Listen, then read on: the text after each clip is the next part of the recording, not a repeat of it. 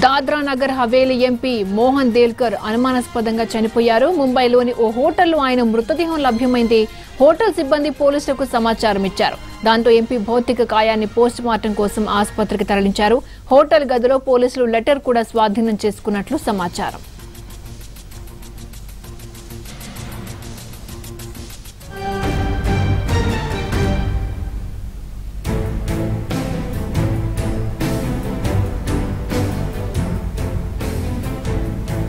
Dadra Nagar Haveli MP Mohan Delkar అనుమానాస్పదంగా చనిపోయారు. ముంబైలోని ఓ హోటల్లో ఆయన మృతదేహం లభ్యమైంది.